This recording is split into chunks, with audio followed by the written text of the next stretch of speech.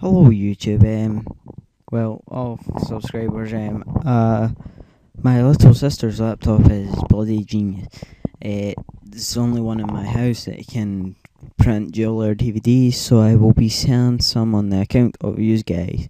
Uh, the prices will all depend on what you want on the discs, like if you want 10th and Modded Nazi Zombies all in one disc, then that could cost you up to £15. Uh, if you want two separate discs, one with 10th and one with uh, just uh, non-modded Nazi zombies, that could cost you around £20 and just one tenth is about £10 and one modded um, zombies is £10. Uh, we, I can also negotiate with you no lower than about 8 or £7 uh, but I'll still negotiate with you it, it all depends on what you want on the disc and if you would like um, proof the the proof should be up in two days because I need to open up my Xbox and hot swap now.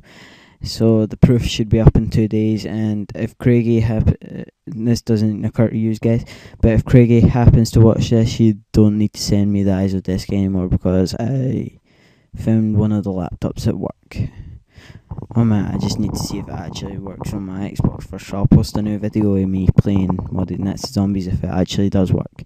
Peace out, suckers.